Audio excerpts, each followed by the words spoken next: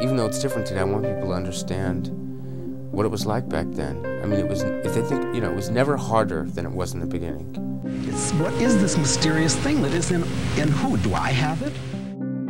It was pretty unbelievable to imagine that uh, there was a cancer that was somehow related to homosexuality. We all thought that was absurd. And this was like, there was no name for the disease. Of, all these people weren't out of the closet. There were no drugs for these people. There was no research.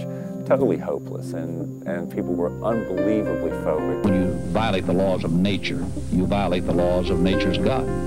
And uh, like driving faster than 55 miles an hour, uh, you pay the fare.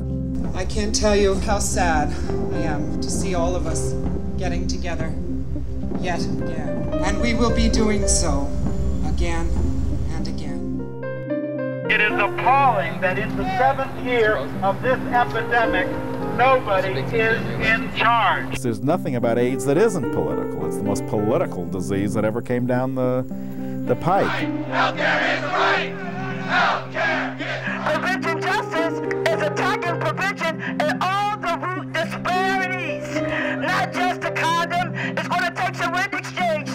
HIV.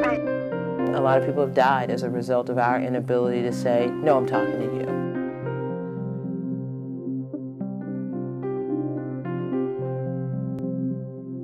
Imagine if the World Trade Center towers took 25 years to come down.